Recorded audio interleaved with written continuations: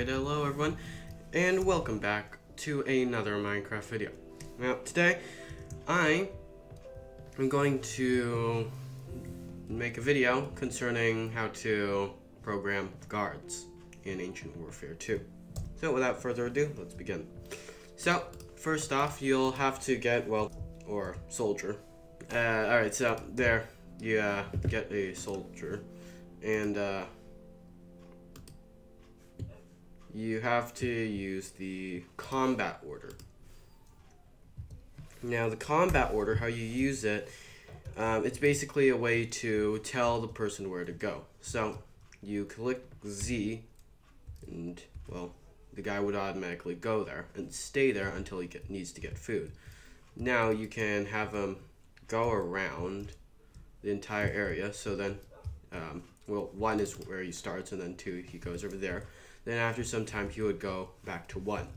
Now, you can have him go all around the entire area. And once you spawn him, you just give him the combat order.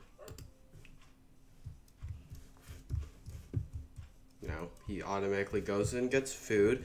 So then, uh, you just give him the order in this, and then he'll automatically run off and begin working. Now, you can use the combat order on anything like archers. Uh, let's see. Archers and, well, combat NPCs, along with commanders and medics. So, yeah.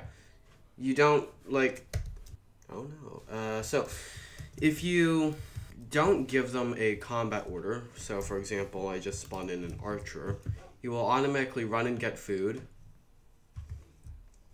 And then after that, he'll just stand there.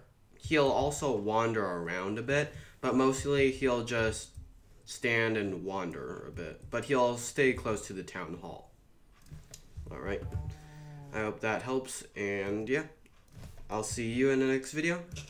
And yeah, Happy New Year.